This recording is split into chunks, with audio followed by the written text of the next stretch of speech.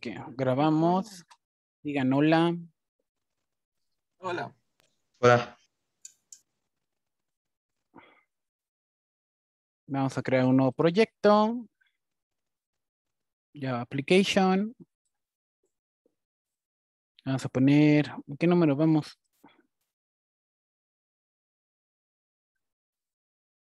Seis. RSA. Manita.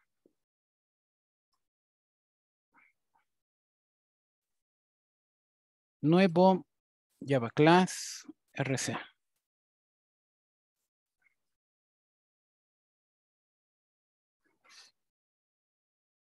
Ahí se ve. Sí. Bien, como habíamos dicho, la clase anterior empezamos a ver en qué consistía el algoritmo de RCA y no es otra cosa más que simplemente hacer una multiplicación de números primos muy, muy, muy, muy, muy, muy grandes. ¿Estamos de acuerdo?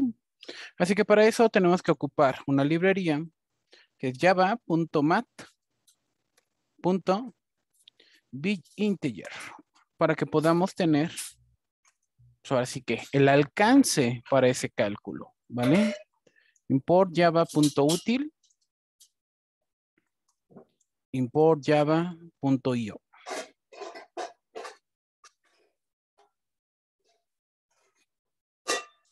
Entonces, lo primero que vamos a hacer es, vamos a definir nuestros números grandototes. Para eso vamos a ocupar un entero que va a ser el tamaño del primo, porque tenemos que definir el tamaño, que puede ser de dos dígitos, tres dígitos, cuatro dígitos, etcétera. ¿Estamos de acuerdo? Y de ahí vamos a ocupar a big integer para los números P, Q y N. Otro big integer para el cálculo del número phi.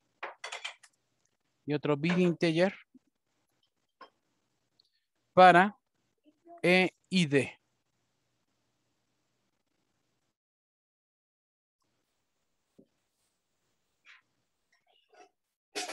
¿Estamos de acuerdo?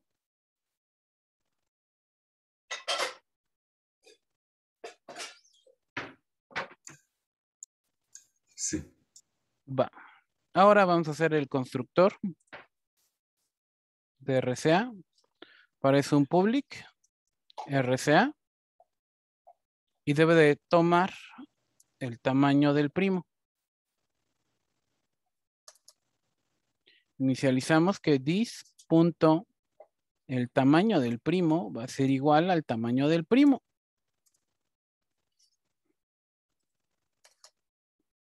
Y ahora vamos a crear el método para generar los números primos. Para eso simplemente vamos a decir que P va a ser igual a un nuevo big integer. Punto. No es cierto. Aquí vamos a decir el tamaño que queremos a partir de el tamaño del primo, coma, hasta máximo 10, a partir de un nuevo random.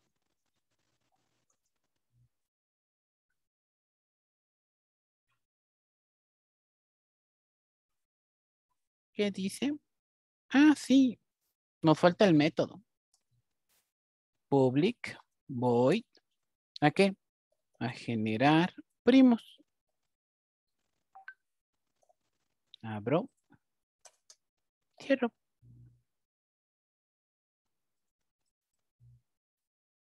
Con esto ya tengo la primera generación del primer número. Ahora, ¿qué tenemos que hacer?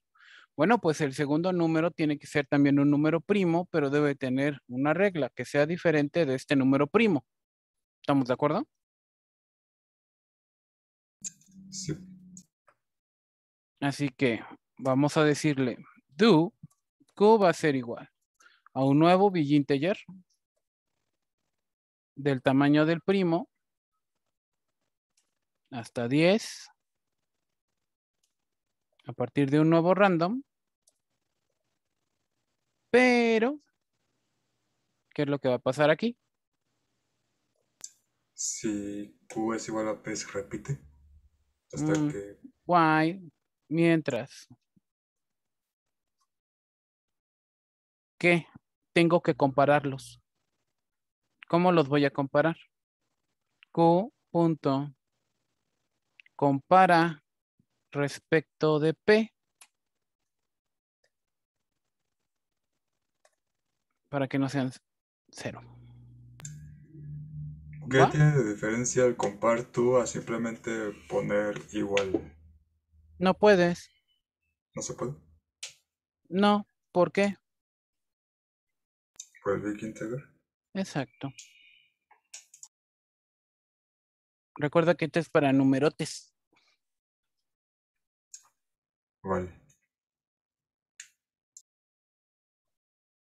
Porque si lo pones así te va a mandar error. Es como por ejemplo ahorita. Ya te generé los números primos. Ahora tengo que generar las claves. Entonces, public, voy a generar claves.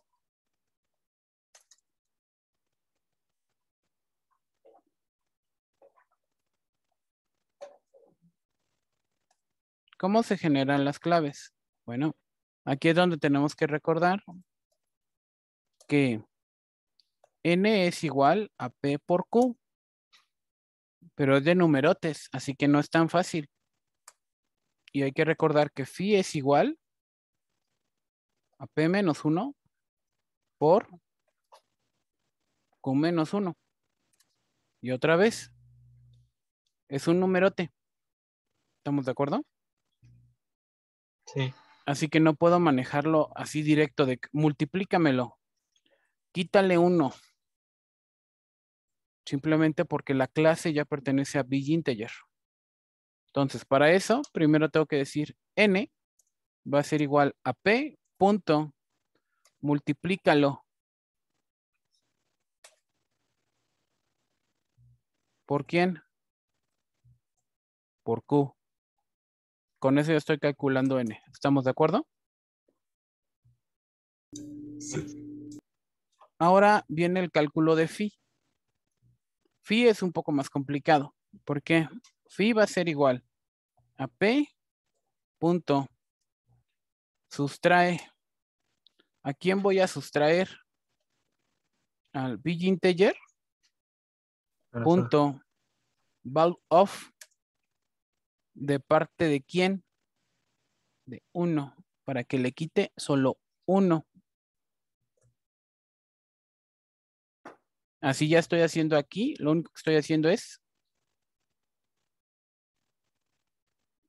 P menos 1. ¿Estamos de acuerdo? Entonces ahí lo que hace es convertir 1 a big integer para poder restarlo, supongo. Porque si no, no puede. Y ahora le vuelvo a decir que phi va a ser igual a phi que yo tengo del valor anterior, punto que lo multiplique. Respecto a quién, a q, punto Subtract. subtract. De quién, de big integer, punto value of 1. Y ahí está, ya tengo que phi va a ser p menos 1 por q menos 1. ¿Estamos de acuerdo? Sí. ¿Vamos bien? Sí. ¿Alguna duda?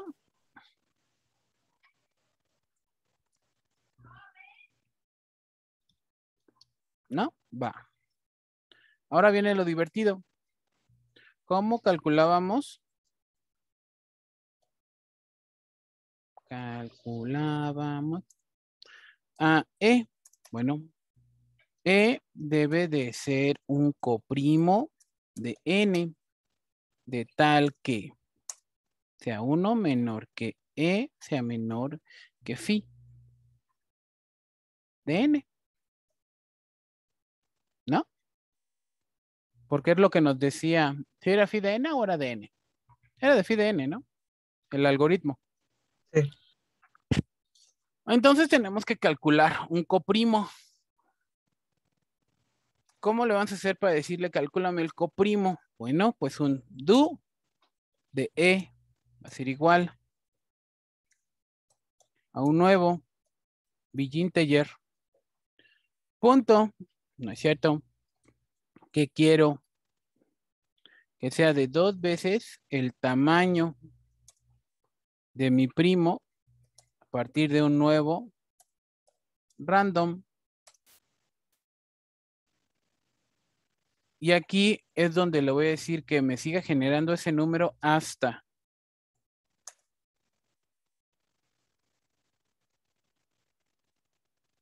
¿Hasta qué? Entonces, guay. Y que le digo, bueno, quiero que E, punto, compáralo. ¿Contra quién lo voy a comparar? Contra el valor de phi. Y que este sea diferente de menos uno. O también quiero que E punto. ¿Qué es GCD? Mm, ya se tardó. Otra vez. Ahí está. GCD. ¿Qué dice? Que es el máximo común divisor del este. Bueno, es un entero grande de un que es el valor del máximo común divisor. Y es como lo estábamos sacando en el algoritmo de RCA, ¿sí o no? Sí. Entonces, de eje de, ¿de parte de quién? De phi. Y punto que lo compare respecto de quién. Ah, pues compáralo respecto de un integer. Punto value of de 1. 1, 2. Y que eso sea diferente de 0. 1, 2.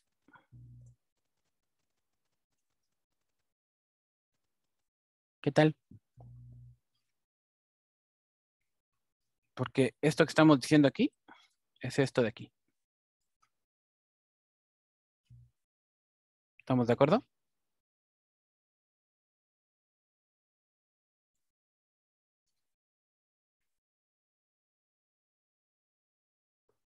¿Dudas?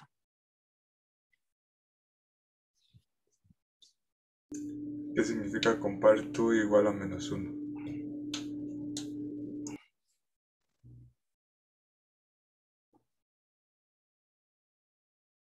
E punto. ¿Qué hace comparar?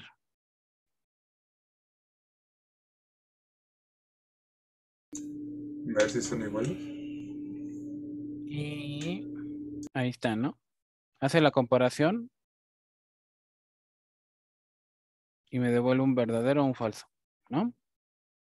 Aquí viene. ¿Qué estoy comparando? ¿Por qué, es de, ¿Por qué tiene que ser diferente de menos uno? Porque estoy generando un random. ¿De qué tamaño? De dos veces el tamaño del primo. Al ser un random puede ser cualquier número, ¿sí o no? Sí. Y tiene que estar dentro de qué rango? De 1 hasta. Entonces con eso me aseguro de que número 1 sea positivo y número 2 no esté fuera del rango y número 3 no se salga. Vale. ¿Estamos de acuerdo o no? Sí.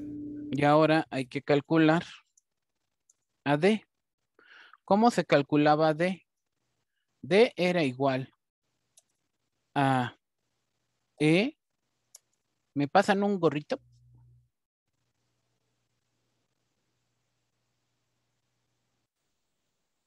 Gracias.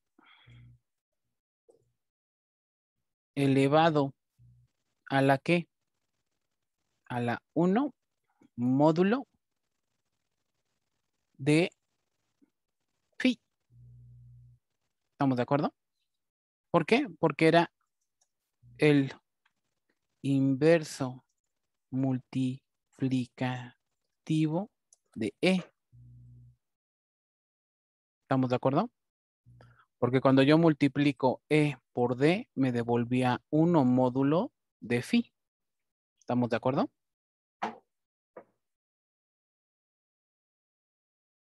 ¿Sí se acuerdan o no?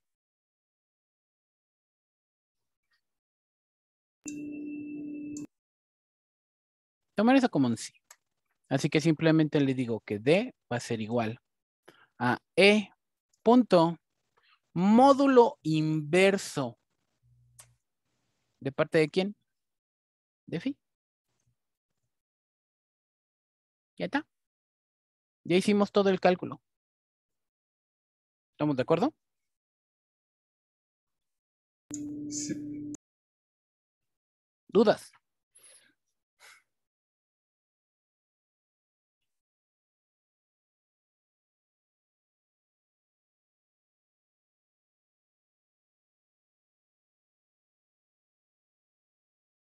¿No hay dudas? Va.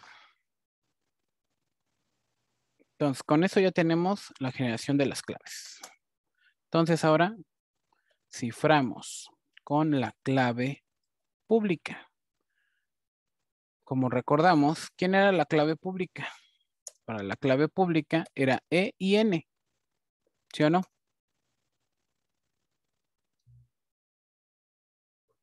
Sí. Así que para eso voy a ocupar public integer, que va a ser un arreglo, que va a cifrar una cadena, que viene un mensaje. ¿Qué tengo que hacer? Bueno, vamos a necesitar un entero i para poder iterar. ¿Qué voy a iterar? Un byte, que va a ser temporal, que va a ser igual a un nuevo byte. ¿De qué tamaño? De 1, porque vamos a ir bit por bit. Y de ahí le digo un byte, que es un arreglo, de dígitos, que va a ser igual a mi mensaje, punto, get bytes. Y con eso ya los transformé en ceros y unos. Ahora le digo que mi big integer de mi arreglo de grandes dígitos va a ser igual a un nuevo big integer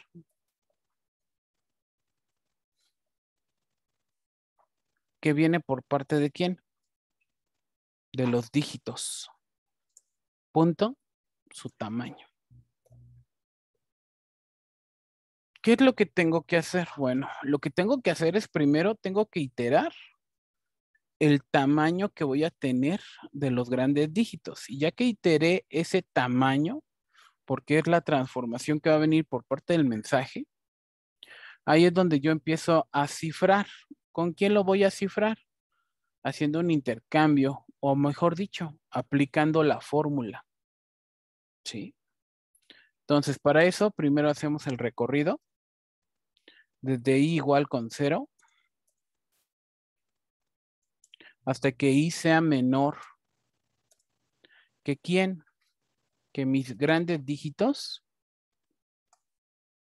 punto length y más más.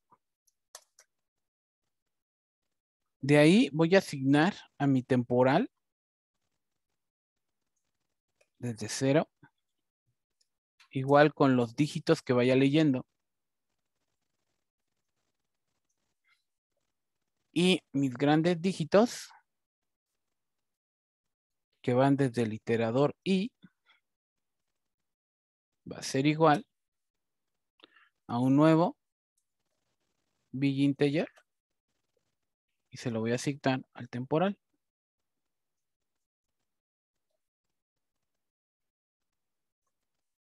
¿Va?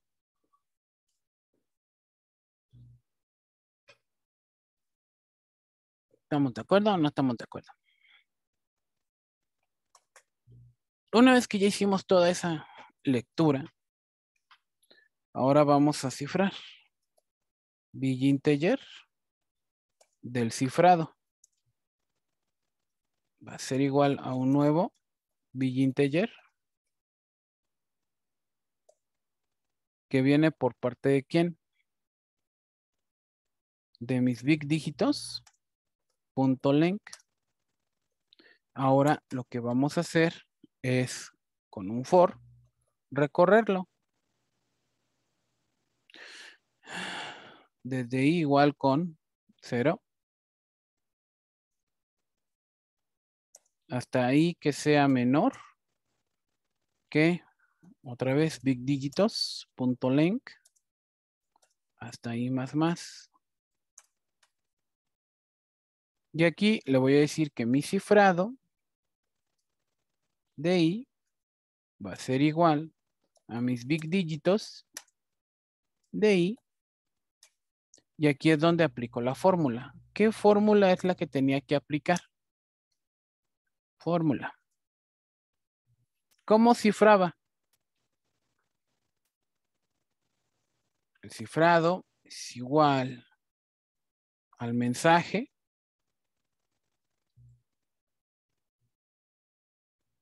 elevado a la E módulo de quién?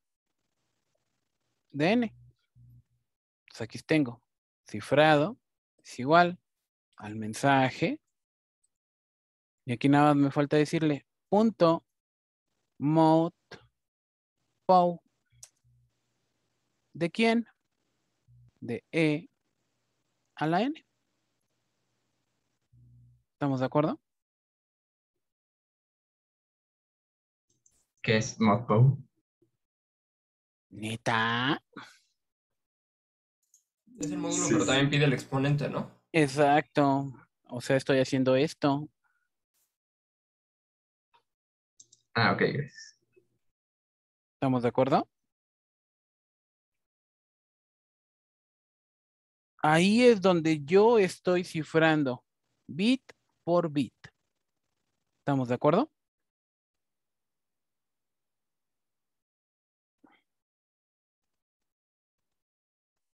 Sí.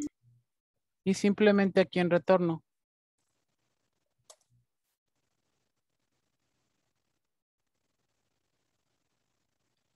¿No cifrado? Exacto. Y con eso ya tengo el método que cifra. ¿Estamos de acuerdo?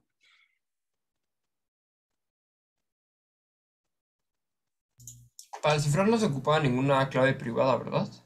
Mm, acuérdate que o cifras con clave pública o cifras con clave privada. Porque una va estamos a haciendo con la pública, ¿no? uno va a cifrar y el otro va a descifrar. Va. Vamos bien. Sí. Bien. Y ahora vamos a descifrar. Desciframos con clave privada. O sea, necesitamos a D y a N. ¿Estamos de acuerdo? Sí. Entonces, ¿qué es lo único que hacemos? Un public string y voy a descifrar. ¿Qué voy a descifrar? Ah, pues viene de un big integer que está cifrado. ¿Estamos de acuerdo?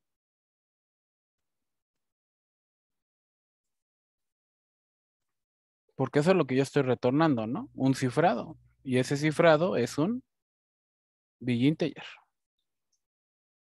¿Estamos de acuerdo? Sí. Y que necesito pues un big integer que lo voy a llamar descifrado. Que va a ser igual a un nuevo big integer. Que va a venir por parte de el tamaño del cifrado. ¿Estamos de acuerdo? Porque tiene que ser del mismo tamaño. No puede ser más, no puede ser menos. Así que Vamos a descifrar con la fórmula. ¿Cómo era la fórmula? El mensaje, vamos a ponerle mensaje descifrado. Va a ser igual al cifrado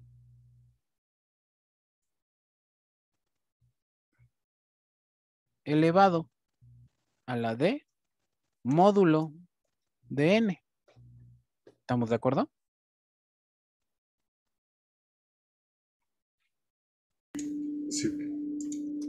Así que para poder hacer eso, otra vez necesitamos un for.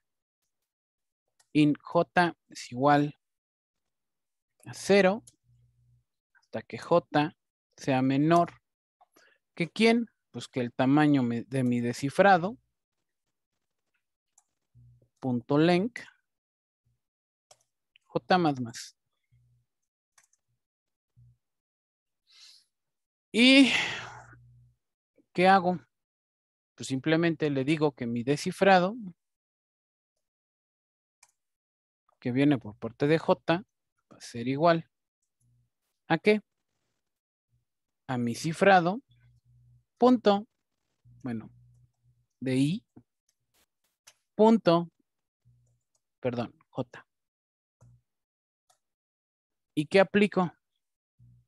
Modpo del D con la N. ¿Estamos de acuerdo?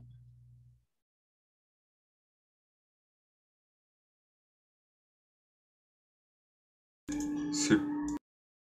¿Y luego qué hago? Necesito definir un char que va a ser un char array donde voy a contener a quién?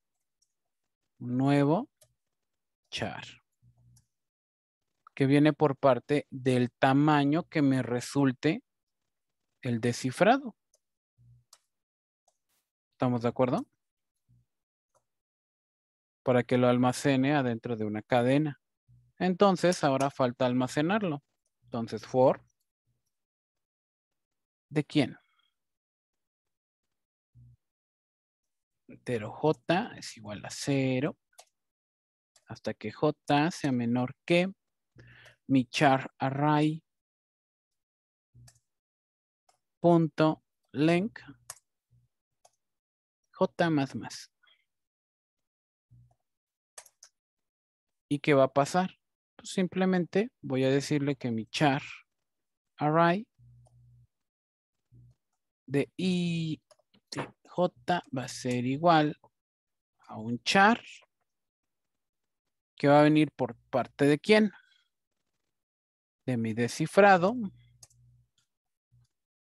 por parte de j punto invalid.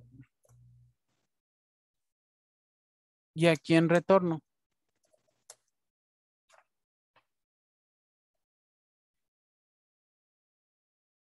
Al descifrado. No, El char, el array, el char array, exacto, pero lo tengo que transformar en qué? string. Exacto, en un string. ¿Por parte de quién? De mi char array.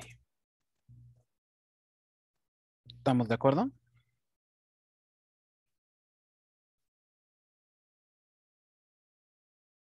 Listo, Sí. ya terminamos.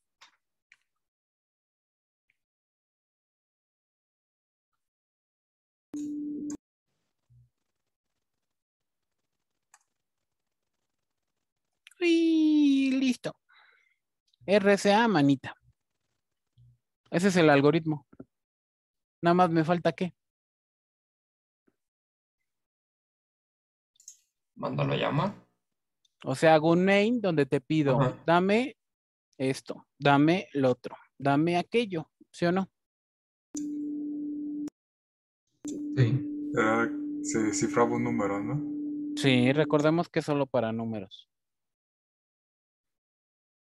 Tendrían que crear ustedes el main donde van a pedir qué. Dame el tamaño de la generación de los números primos. De 2, de 3, de 4, de 5, de 6, de 100 dígitos, porque por eso estamos ocupando big integer. Y luego, ¿qué tendría que obtener?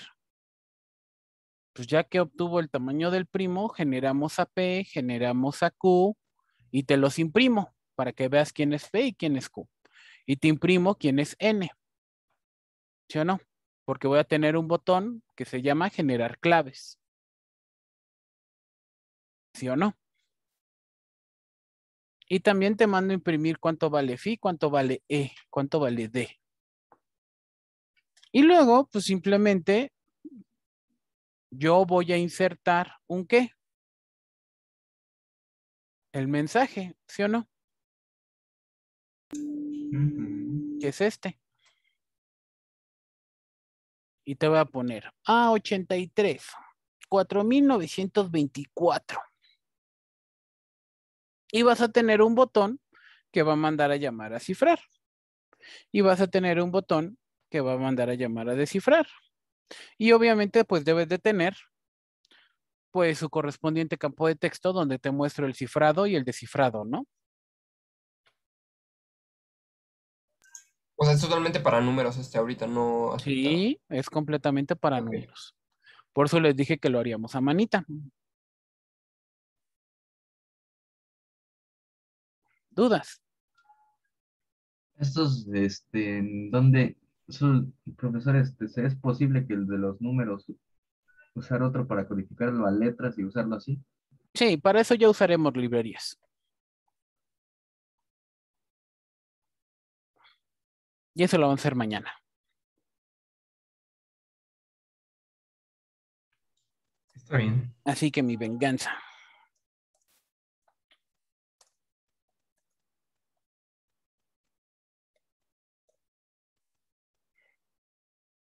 Tarea. Y aquí están las opciones.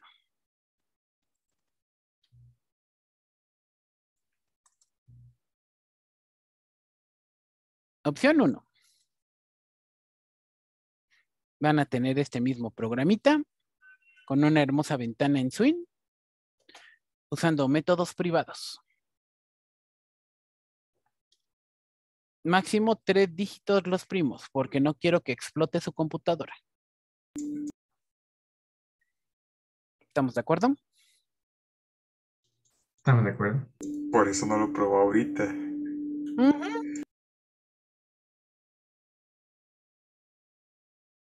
Opción 2. Realizar el mismo algoritmo, pero en un JSP y un servicio, en el cual obtengo el formulario, agrego los correspondientes elementos con request y response, porque es simplemente otra vez ingresar el tamaño, ¿sí o no?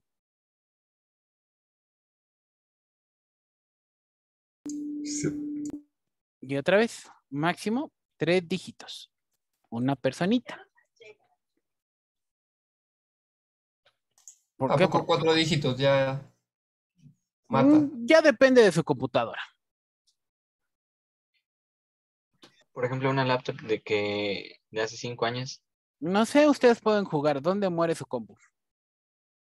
¿El trabajo es individual? Sí, aquí dice una. Una. Ah. Vale, profe. Opción 3. Un cliente servidor. Esto mismo en JavaScript con Node. El cliente va a, calcular sus números P y Q, N y Phi. Y el servidor, que sería la segunda persona, va a calcular a P, Q, N y Phi. Entonces, una parte del equipo, porque un miembro, va a calcular para cifrar y el otro para descifrar. Números en un chat. O sea, se van a enviar puros mensajes de número. Máximo dos personitas porque es un cliente servidor de tres dígitos. Porque, ojo, JavaScript se va a morir, pero bien bonito. Con el tamaño del big integer. Profe, ¿y el cliente servidor es este, es en JCP o también puede ser Node.js o en lo que sea? En Node se puede hacer, por eso les digo. En JavaScript, con el big integer, se va a morir el JavaScript. No tiene la capacidad para ese tamaño. Tienen que ocupar una segunda librería. Ahí.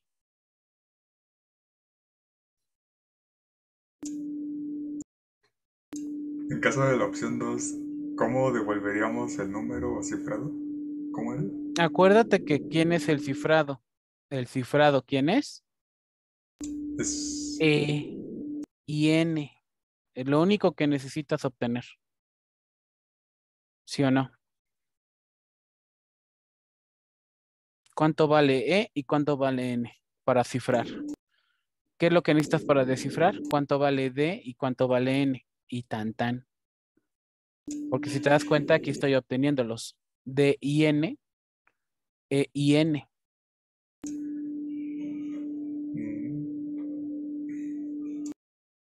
O sea, no me refería a, el, a los números cifrados. ¿Cómo se devolvería? O sea, simplemente con un mensajito. Es un mensaje y ya. Ah, vale. Sí, o sea, ah, recuerden, al final son números. Lo único que te estoy mandando son números. Tan tan, se acabó. Entonces sería el devolver el mensaje cifrado E y N, ¿no? Vale, Bueno, gracias. Es el mensaje y obviamente necesitas a tus números, ¿no? Si voy a cifrar, es con E y N y yo lo mando cifrado. Entonces, para yo descifrarlo, necesito a D y a N y viceversa. ¿Estamos de acuerdo? Sí. ¿Dudas?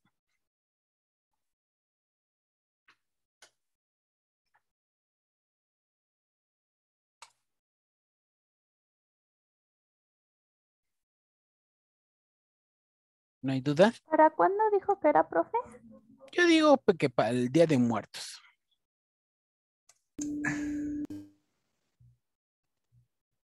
Mejor Pero si todos los la estamos muertos. La Revolución Mexicana, mejor, profe. No. Mira, para que no descansen en este puente. Yo digo para el jueves. Sábado. Sábado, me parece.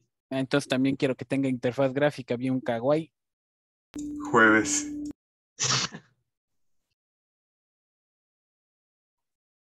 Para enero del 23. A mí me cuadra. Simplemente te quito cosas. Para finales de sexto.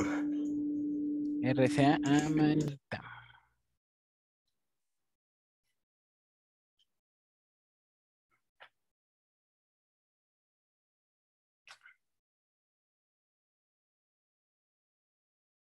Digan eso a la cámara. Dios. Dios. Uy.